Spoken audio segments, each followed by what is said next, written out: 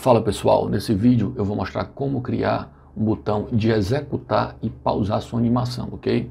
Para fazer isso eu vou utilizar o código do vídeo passado, que é de uma bolinha executando o movimento oblíquo. Então primeiramente eu vou colocar aqui o botão abaixo do cenário, e aí eu vou utilizar o comando button. Entre parênteses aqui eu vou colocar o texto do botão, que vai ser executar em maiúsculo, é executar.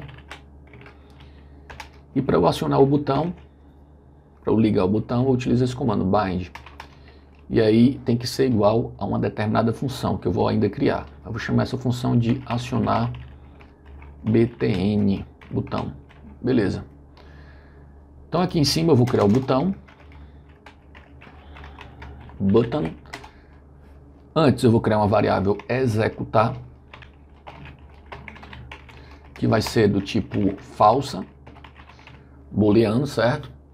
Porque basicamente o que a gente vai fazer é comparar falso e verdadeiro, falso e verdadeiro. Quando eu acionar o botão, vai ser verdadeiro.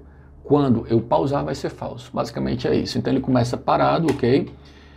E aqui eu vou definir minha função. Então, definir essa função aqui, acionar btn. Dois pontos. Aqui eu vou colocar a variável executar como global, executar para que ela funcione, né, para que ela se atualize tanto dentro como fora da minha função, ok?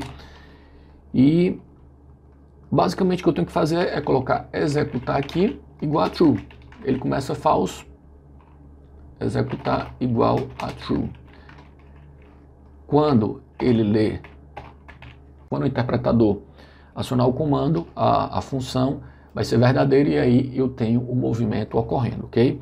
E logicamente, aqui embaixo só vai ocorrer se executar, executar, aceitar aqui esses caras, né? Então eu tenho a atualização aqui das minhas equações, ok? Beleza, vamos ver se funciona isso aqui. Vou dar um Ctrl 2 Então tá aqui, ó, cria o botão abaixo do cenário, ok? Se eu clicar executar, ele está falso, então não está funcionando. Né? Agora, quando eu clico executar, eu aciono o botão e aí o movimento começa a rodar.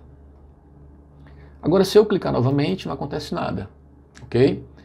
O que eu quero fazer é toda vez que eu clicar, ele executa, quando eu clicar novamente, ele para. Eu clico novamente, executa, clico novamente, ele para. Para eu fazer isso, é, é bem fácil, eu posso simplesmente aqui em executar, eu posso fazer o seguinte, colocar not executar. Então ele começa como falso, quando eu clico, o que, é que vai acontecer? Ele vai ser não falso, ou seja, verdadeiro, e aí quando eu clico de novo, ele vai ser não verdadeiro, portanto falso, ele para, e assim por diante, toda vez que eu clico.